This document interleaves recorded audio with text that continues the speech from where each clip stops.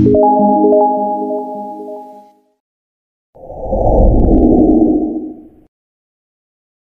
was always good at art in high school, and before that, my mom always really um, encouraged that, my mom and dad. So I had these big influences in my life. My parents were really um, supportive, and she was always pushing me to do art more, and I was kind of, you know, I, I was into it, but not into it, and she finally said, uh, you know, you don't have to keep doing it if you don't want, so I didn't really keep doing it in high school.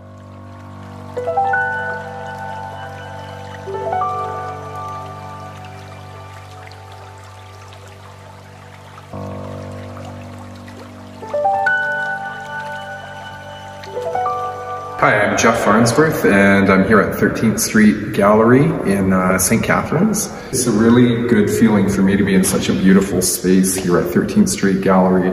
Really nice big open walls, and there's a lot of space and air, and it's clean and set up so well for looking at art um, and looking at the paintings and the sculpture. And it feels really good to be able to stand back and look at uh, quite a few pieces over this period of time and see where they've come and kind of feel out where I want to be going next.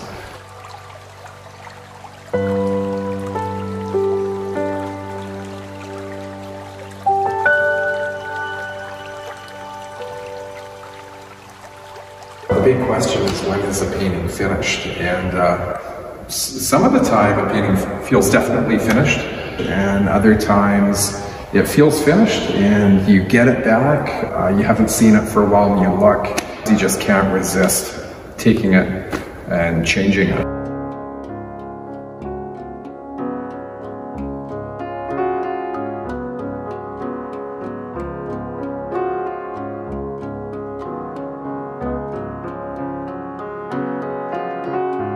First inspirations were like uh, the Impressionists and that sort of thing. Well, especially Salvador Dali at the start. I loved, you know, to be able to see somebody who could handle form and representation so well, but that could have a completely sort of surreal, different uh, framework going on. So I love that. I love. You know, it was really, um, really inspiring on both fronts there.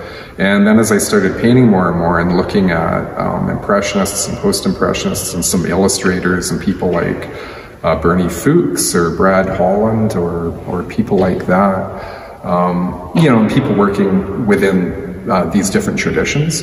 Um, I started getting more excited about paint and about um, you know, building a figure, but you know, it's built with paint. It's not just about blending and uh, trying to make it look like something that's from the real world. It's also celebrating the materials, celebrating drips and brush strokes and a palette and a process and an adventure.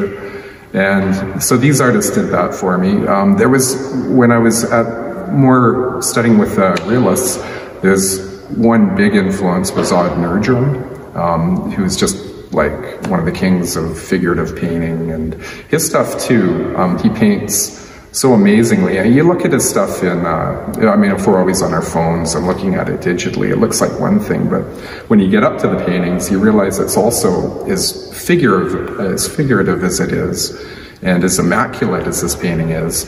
Um, you also see it sort of Rembrandt-esque, and so you do see a materiality of the paint, and uh, you see the brushstrokes, and you can feel the process, and see the drips, and that excited me too. It wasn't all hidden brushstrokes.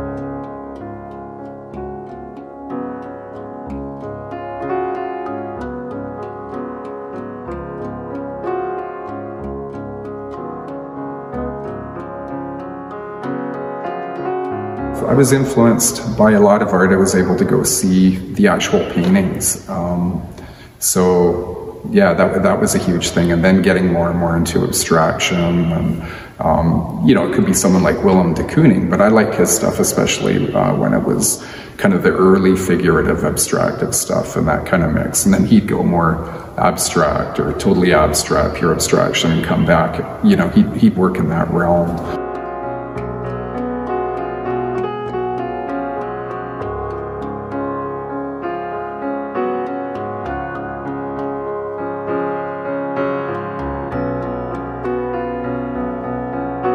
My favorite teacher, uh, Kif Holland, who who was one of my teachers at Cap College, he said, saw me looking around in Canada for places to study painting and he just said, you should go to the Art Students League of New York. Um, it was like the atelier system back in the night. I loved uh, 19th century painting and the Impressionists and Post-Impressionists.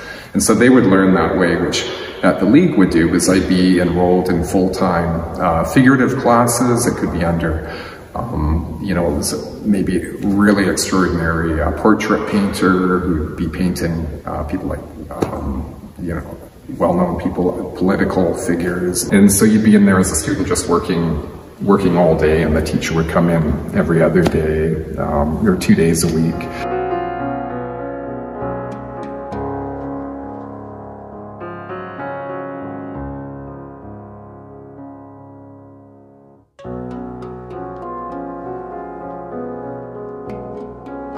Another um, interesting thing in the show is nine years ago, I was collaborating with Chris Whitfoot and Jonathan Adams on a series of sculpture.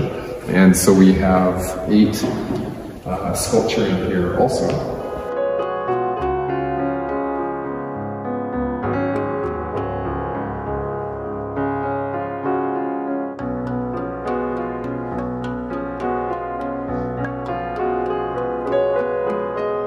Chris Whitfoot and his wife have a home business, uh, Oso Home, and they do really well with the Etsy shop. And they work with wood, and um, so Chris and I hang out a lot, a lot of the time in the backyard. We, he had um, had this uh, desire to start a whole series of pieces. We're going to do a lot more, and we're going to work uh, again on more pieces also.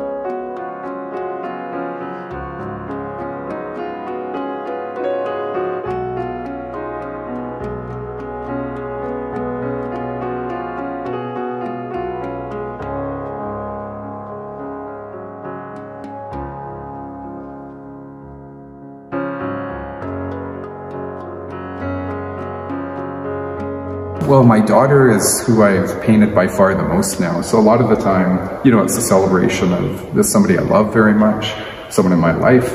Um, I like to paint people in my life.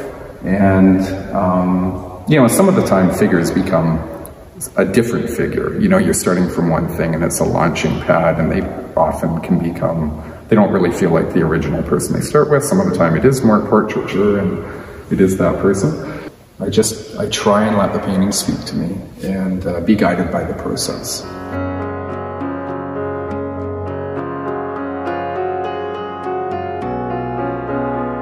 Usually I'm starting a piece based on, a, um, usually on a figure, usually on a person I know. It could be a head or it could be a pose. Some of the time through the painting process and a lot of scraping and moving paint around, um, it would start to lend itself you know, became a couple of kind of rocks and a bit of a water uh, and forest kind of thing here. But every time it's as much as about becoming a rock, it's as much as a palette movement and spreading paint. And then I'm feeling out contrasts. Um, maybe I'm feeling, oh, it's getting a little light here. We need, there's some darks around this edge and maybe I need darks in another area. So I might think of that. I might grab some paint just quickly and it's not specifically about a, a specific color. It's just more like a value choice or it's a shape choice.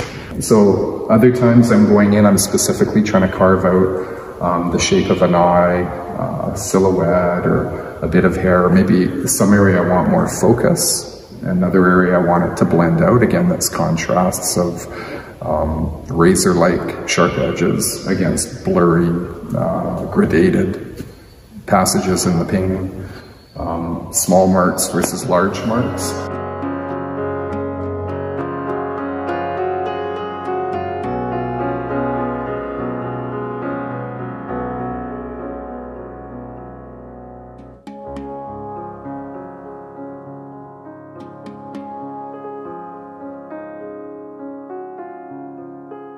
Paintings are sort of happening on their own. You make some movements. It feels it feels good. It feels like it has a certain place, um, or something feels out of place, and it's about listening to the painting.